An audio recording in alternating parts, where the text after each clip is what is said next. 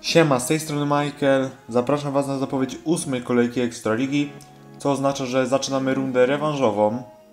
I oprócz dwóch punktów e, za zwycięstwo meczowe, zespoły będą mogły zdobyć dodatkowy jeden, który będzie za zwycięstwo w dwumeczu. Trzeba jeszcze dodać, że ta kolejka jest dosyć e, specyficznie rozmieszczona, ponieważ w najbliższą niedzielę czekają nas e, dwa spotkania. To wszystko przez to, że w piątki będziemy mieli Speedway Grand Prix 2, czyli Mistrzostwa Świata Juniorów.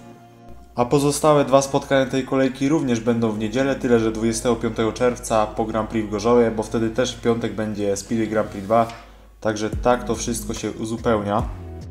I teraz możemy sobie już przejść do pierwszego spotkania tej kolejki. 4 czerwca, godzina 16.30 rozpocznie się pojedynek pomiędzy GKM Grudziądz i Motorem Lublin.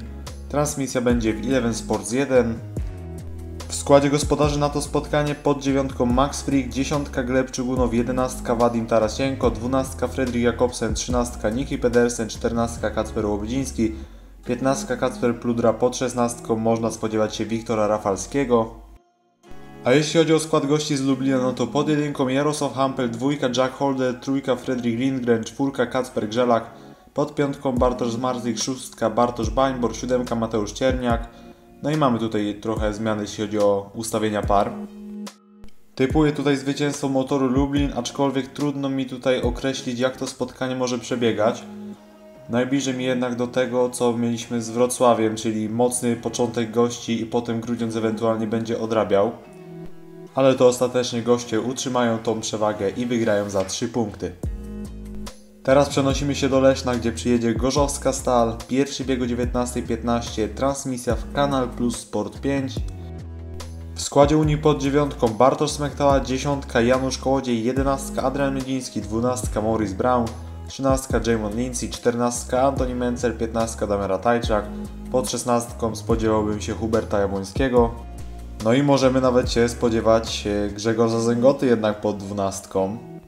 No ja byłem ogromnie zaskoczony, gdy przeczytałem artykuły o tym, że Grzegorz Zęgota po upadku, który miał miejsce tydzień temu, złamany obojczyk w Gorzowej właśnie, no i się okazuje, że po operacji jest w stanie od razu jechać, jedynie może odczuwać jakiś e, dyskomfort w postaci bólu małego. Klub z Leszna nie naciska, powiedzieli, że decyzja należy do niego, no i szczerze nie zdziwię się, jak Zęgi pojedzie w tym spotkaniu.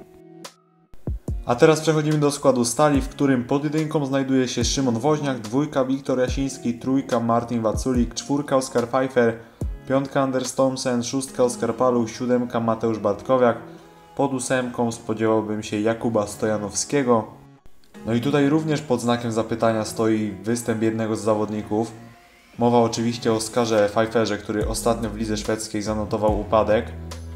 Odczuwa ból lewej stopy, na szczęście tam jest bez żadnych złamań. I tutaj pewnie decyzje o starcie Zęgoty, jak i Pfeiffera będą przeciągane do ostatniej chwili. Chyba, że czegoś nie znalazłem i już mamy jakieś potwierdzenia. Myślę, że Gorzów może zrobić tak, że jeżeli Zęgota nie pojedzie, to mogą Pfeifferowi też odpuścić ten mecz. No zobaczymy jak to będzie. Ale teraz przejdźmy do wyniku tego spotkania, jaki przewiduję. Myślę, że to spotkanie wygra Stal Gorzów, bez względu na wszystko. Wynik może być różny, bo właśnie nie wiemy kto pojedzie do końca, także tutaj jest naprawdę mocny strzał na ślepo. A jeśli Unia Leszno chce wygrać to spotkanie, no to na pewno musi jechać Grzegorz Zęgota i to na dobrym poziomie. Bartosz Smekta musi wrócić do dobrej formy. Jamon Lindsay też musi zrobić co najmniej dwucyfrówkę. Janusz Kołodziej to Janusz Kołodziej. No i Damian Ratajczak musiałby pojechać tak ostatnio właśnie w Gorzowie. A na punkty Adriana Miedzińskiego no to jeszcze nie ma co liczyć. On tutaj jest tak naprawdę tylko po to, żeby się rozjeździć. Żadnych punktów tutaj od niego raczej nie wymagają. No i nawet jeśli Stal Gorzów przegrałaby to spotkanie, w co bardzo wątpię, no to bonus raczej, raczej trafi do nich, ponieważ no, tydzień temu wygrali z Unią Leszno z przewagą 24 punktów. A teraz przechodzimy do tych spotkań, które odbędą się dopiero 25 czerwca. Wilki Grosno kontra Sparta Wrocław. No start tego spotkania najprawdopodobniej o 16.30. Transmisja w Eleven Sports. No i tutaj rzecz jasna jeszcze składów nie mamy podanych, także od razu mój typ. Myślę, że to spotkanie Sparta Wrocław wygra 51 do 39. I typuję też, że w Krośnie będziemy mieć w końcu w miarę normalny tor. I teraz przenosimy się jeszcze do Torunia, gdzie przyjedzie Włókniarz Częstochowa. Tutaj najprawdopodobniej ten mecz zacznie się o 19.15. Transmisja w Kanal Plus Sport 5. No i szykuje się nam naprawdę bardzo dobry mecz na motoarenie. E, Będzie to zacięte spotkanie. No myślę, że Toruń wygra akurat, y, chociaż no może być tu naprawdę ró- różne wyniki. E, Ale ja typuję zwycięstwo Apatora Toruń, a bonus dla Włókniarza Częstochowy, ponieważ pierwsze spotkanie wygrali z przewagą 8 punktów.